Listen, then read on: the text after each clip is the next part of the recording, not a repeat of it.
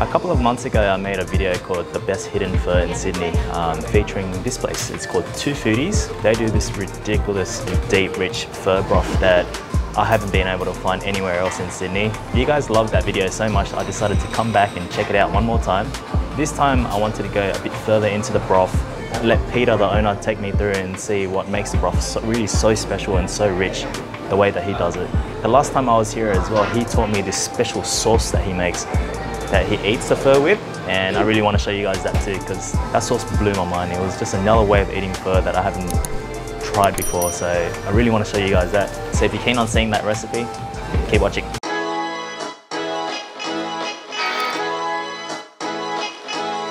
Dressed up nice today for this special occasion. Once in a blue moon. See how we doing the broth now? This batch I'm doing is that we're doing a compound broth, meaning we use 50% of the old broth to start a new one. So it's all compounded up like that. So I'm just trying to make it more even thicker on the bottom end of the broth. Uh, but on the top end, we'll keep it the same flavors and the aroma because we don't want it to go any stronger than that. So see the color of the broth is actually gold. That's how deep, rich it is. So there's a lot more meat and bone than the broth itself because uh, when I form it, I think the meat and bone will be about three quarter. So you use 50% of the old broth and then 50% of just water. So you're starting this broth, um, you're giving it about 50% head start. It's basically strengthen the, the bottom end flavor as well. It's going to make it richer, thicker, um, and just a lot more potent. It's like that. So that's all your meat and bone and bone marrows and that, that's all on the top level. It's right there. Ginger, shallots, that's all in. See that little piece is there? That's all marrow. That's all bone marrows there. And that's all that meat that's been broken up. We're going to use it for seasoning later as well. This one here, we started at about 10 o'clock yesterday. So that would have been about over 24 hours now. Onion, shallot, ginger, meat, brisket in here as well. It's the quality of the herbs, quality of the meats, and the way that you brew it as well to turn it gold like that. This broth now is ready for seasoning. Right. Mm -hmm. So that's the color that it should be. Nice and gold and very rich. You can see it's, it's lots thicker as well. So basically we've just strained it all out into here, straight into here. Right. And we do that every day.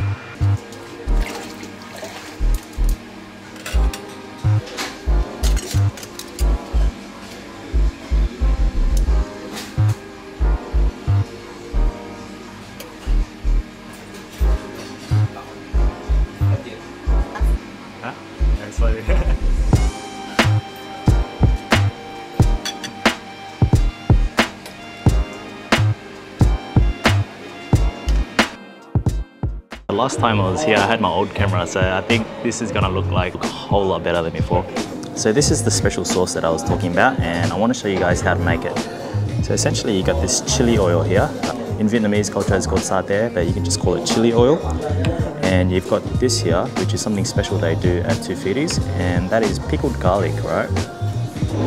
So just ask for this extra.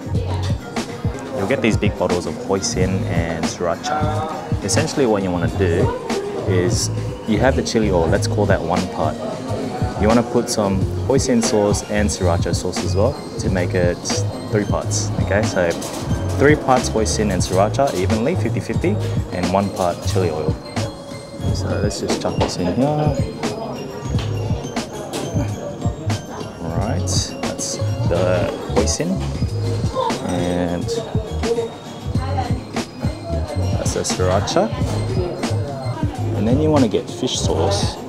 And then you drop it one out there. Not too much, just a little bit. And then lime or lemon. So you want about one part of that as well. After you mix it all up a little bit, it's gonna look like this. You can add some fresh chilies in there as well. Very, very tasty. Yeah. Back to that sauce, what you wanna do is sort of mix it around.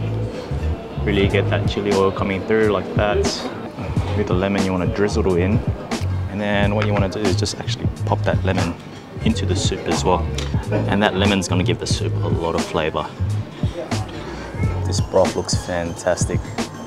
I actually asked for extra meat, so essentially we can see is a load of beef brisket here, which I love here. I think they actually do some of the best beef brisket in any type of pho in Sydney. Um, I mean, you got the beef meatballs, beef balls. This is my favorite thing in this broth. This thing is amazing right here. It's actual beef meat that comes from the broth, so it comes from the stock that it comes. Fatty, it's meaty and it's delicious. And then you got the brisket there as well. Some chili oil in there. I don't really like adding a lot of things into my pho broth because I like appreciating the pho broth for what it is. So I never really add like hoisin or sriracha. I just like, I just like tasting the, the flavor of the broth itself. But chili oil, in my opinion, always adds a lot of flavor to it, like good flavor, it complements it, you know, it doesn't take away from what you're tasting. Oh, look at that. Beautiful. Ooh, just look at that. Beautiful pho. The noodles are done perfectly. And I'm not sure if I said this in the last video, but in Australia with we pho, we use fresh rice noodles. So they're flat. I've seen pho come from other countries like America, Canada, and what they do over there is most of the time when you order pho at a restaurant, they actually use um, those rice noodles that come dry and packaged, and then you reheat them in water. So in my opinion, they don't taste as good as this. This tastes like really nice, man. First things first, always, always try the broth before you do anything. It's damn good today. That broth's always amazing, man. I love it. Any bit of basil into the mix is always a must for me. I like adding bean sprouts, but not all of them. I want to taste some noodles too, not bean sprouts the whole way through, personally. What do you guys do? Do you guys put um, basil and bean sprouts in your broth as well? That to me is perfect. Look at that. Ooh, beautiful. Mm. These are the brisket sheets as you can see. Show you up close here. Beautiful ratio of meat to fat there. And what that means is with every bite that you put in your mouth, just sort of like dissolves in your mouth so well. You know, what we're gonna do, I'm gonna dip it into that sauce that we made earlier. Mm. I'm telling you guys, man, ever since the last time I came in here and Peter showed me how to make this sauce, I haven't eaten pho. I haven't eaten pho any other way. 100%. I'll go to other pho restaurants, which I haven't filmed YouTube videos for or anything yet. I'll make this sauce. That's how good this sauce is. Please guys, try this sauce. You've got a great crunch there from the basil and the bean sprouts. Mm. Make sure you don't put too much chili oil into the broth. Um, you don't want it to be overpowering, you just want it to sort of lightly complement. Look at this meat here. Mm. So good. And those pieces of beef that come straight from the stock pot, with every bite, you can actually taste all of the seasoning that went into the stock. Really, really tasty stuff.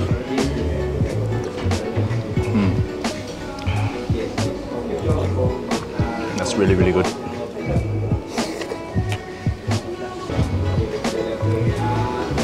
Mm, that sauce, man.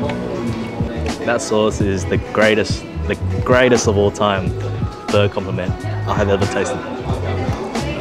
It's so good. I'm so glad he taught me this sauce. so what I used to do, right? I think with this sauce, essentially what it does is it, it heightens your senses. You know, you get a bit of spice, you get, you get the sweet, you get the savory, and then like because it's chili, you got the fresh chilies, the chili oil, the sriracha. You start to like sort of sweat a little bit. Like your mouth goes, I wouldn't say numb, but it just elevates what you're eating. It's ridiculous.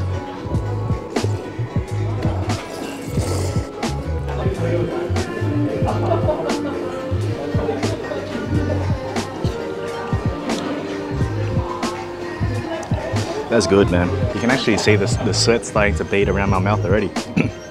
I'm feeling it, man. Bit of pickled garlic. Mm. I think the pickled garlic would go really well with the broth itself as well.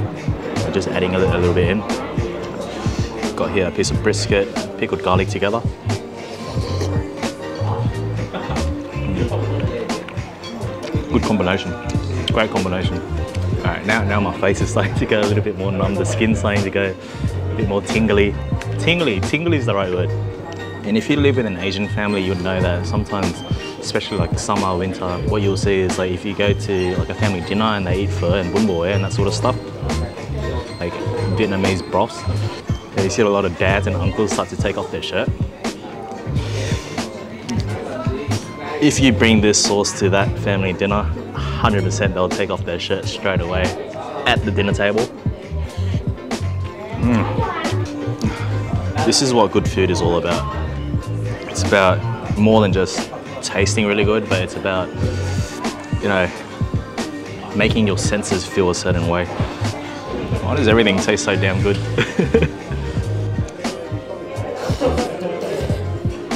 That's a really, really nice piece of brisket there. Going straight into the sauce.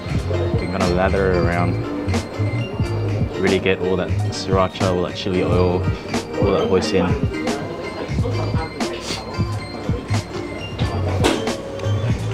Mm. I think I need to wipe my face, man. I'm like getting sweat beads all over my face from that tingling from the, the spice that burns so good.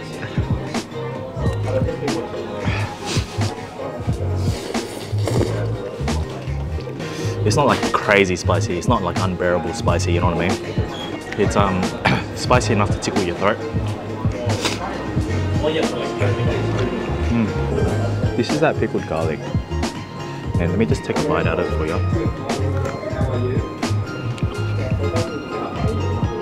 See that it's nice and pickled all the way through. It's a nice crunch and a nice like touch of freshness. If I was at home right now, I'd be taking off my shirt like five minutes ago. It'd be crazy. I haven't even tasted the beef ball yet. Beef ball with the sauce. Yeah, that's good. You can just see the broth of the pho just take on a sort of reddish color from the chili oil and from all the flavors that we've been adding into the broth. I'm telling you, it doesn't take away from the broth flavor, which is, in my opinion, so important.